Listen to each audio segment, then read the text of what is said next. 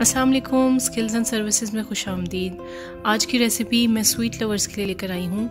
आज मैं आपके लिए शादियों पे बनने वाले स्पेशल जर्दे की रेसिपी लेकर आई हूँ। ऑथेंटिक जर्दे की रेसिपी है, बहुत बेहतरीन और परफेक्ट आपका जर्दा तैयार होगा।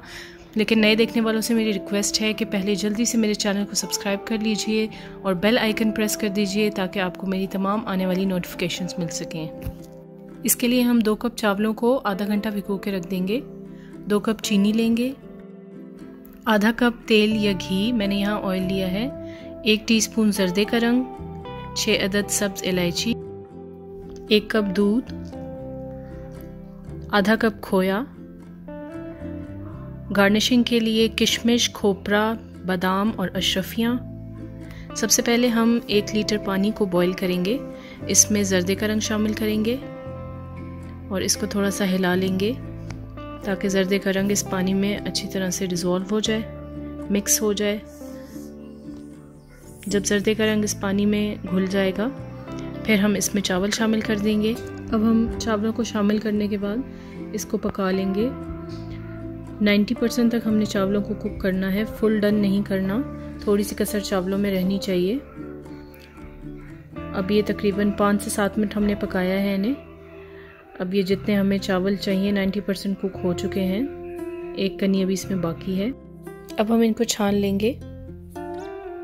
जर्दी की चाशनी बनाने के लिए एक पैन में हम आधा कप ऑयल डालेंगे। जब ऑयल थोड़ा गर्म हो जाएगा तो इसमें सब्ज़ इलायचियाँ शामिल कर देंगे। अब इलायचियों को थोड़ा सा ऑयल में करकड़ा लेंगे। इसके बाद इसमें एक कप दूध शामिल कर देंगे। और थोड़ा सा दूध को पका लेंगे इसमें।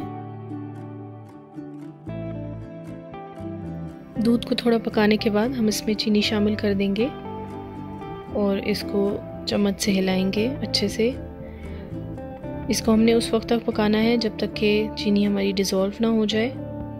जब चीनी डिज़ोल्व हो जाएगी तो हमारी चाशनी तैयार हो जाएगी। दूध डालने से जर्दे में बहुत रिच फ्लेवर आता है, बहुत ही मज़ेदार जर्दा बनता है। ज़रूर इस रेसिपी को ट्राई कीजिएगा। चीनी हमारी आहिस्ता आहिस्ता घुल रही है। दो तीन मिनट ये लेगी मुकम्मल डिज़ोल्व होने में। अब हमारी चीनी अच्छे तरीके से इसमें घुल चुकी है। अब हम इसमें चावल शामिल कर देंगे।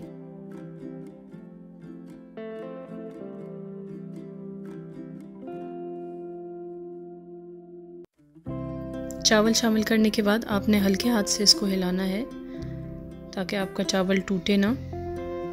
अब हम इसको थोड़ी देर पकाएँगे, जब तक कि ये जितना चाशनी का पानी है, ये चावलों से नीचे ना हो जाए। अब पानी हमारा ड्राई हो चुका है ऑलमोस्ट अब हम ऊपर से ड्राई फ्रूट डाल देंगे। किशमिश, खोपरा, बादाम और अशरफियाँ डाल देंगे। ये आपको आसानी से पंसारी से मिल जाएँगी। आखिर में खोपरे की लेयर लगा देंगे और इसको ढककर 10 मिनट के लिए दम दे देंगे। हमारा मज़ेदार, खुशबूदार जर्दा बिल्कुल तैयार है। आप देख सकते हैं कितने खिले खिले इसके चावल बने हैं और बहुत ही लाजवाब खुशबू आ रही है। मैंने जर्दे में अच्छी क्वालिटी के बासमती राइस इस्तेमाल किए हैं। आप चाहें तो इसको सेलर राइस से भी बना सकते हैं। आखिर में ऊपर से आप थोड़ा सा खोया और डाल सकते हैं। गार्निशिंग के लिए अशरफियाँ डाल दें। और मज़ेदार जर्दे को सर्व करें। रेसिपी को ज़रूर ट्राई कीजिएगा और मुझे कमेंट्स में ज़रूर बताइएगा कि आपका जर्दा कैसा बना। आपके कमेंट्स मुझे मोटिवेशन देते हैं कि मैं इसी तरह की अच्छी अच्छी और नई इजी खाने की रेसिपीज़ आपके साथ शेयर करूँ। Thanks for watching skills and services अल्लाह हाफिज़।